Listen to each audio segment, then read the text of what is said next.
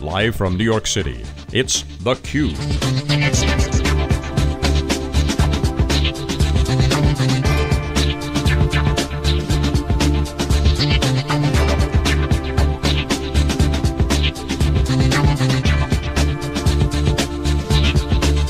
Here is your host, Jeff Frick.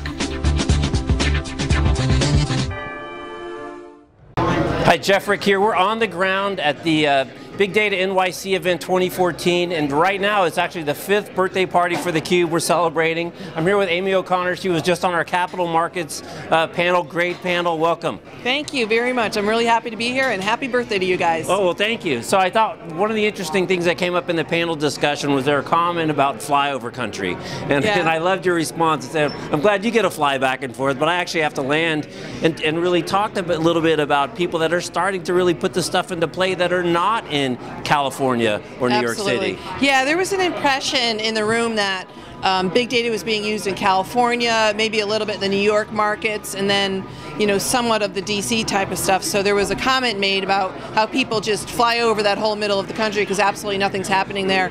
And I clearly remember spending two weeks in the Midwest in February, because you can't forget the Midwest in February, where our sales team hauled me from customer to customer, and we had some wild conversations, some really great stuff going on out there. I mean, one customer I can mention is Caterpillar. There's a lot happening in the agricultural space, a ton of stuff happening in the retail space where people are starting to get going with it. Then I was able to go down south a little bit, oil and gas, little railroad stuff down in the Texas area. Right, right. So yeah, it's you don't fly over the country anymore. You know, you could almost maybe take a bus. Right, there you and go. just go from customer to customer. Well, it's consistent because uh, Bill Schmarzo, I don't know if you know Bill, affectionately known as the Dean of Big Data from EMC that we have on quite a bit, and he's from Iowa, and so he likes going to visiting uh, relatives, but he's always, like every week, he's out visiting middle of the country places, hardcore manufacturing, kind of helping them on their big data journey. Oh, absolutely, yeah. So, so a big show for Cloudera. You guys are obviously a headline sponsor at Strata Hadoop World. So, how you uh, feeling about the show? Any big announcements? Ooh. What's the vibe over there? So, the, you know, every year it's different. My first year I was a customer. Um, that was 2011. I was on the Cube that year, and um, my no, my Cloudera sales rep, because I was a customer, met me at the door with my badge. This year it's like 5,000 people. The place is packed.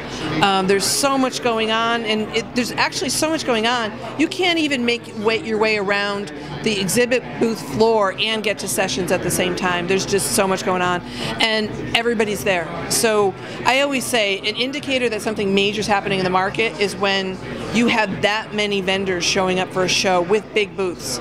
So we have 700 employees. We have 1,200 partners. That's a very oh, odd wow. ratio. Yeah, and we Yeah. care about them all. Right, right. All right, so let's shift gears a little bit. One of the things we're passionate about is women in tech. You're a woman, you've been in tech. Like you said, you were at Nokia before, so you've been on that side of it. Now you flipped over to this side. We were just at the Grace Hopper celebration of women in tech. Actually interviewed uh, Maria right after she came off Oh. the keynote with Oh, yeah, uh, the fun one. with Satya. Yeah. Right, it was, it was uh, it's a good interview. You have to check it out.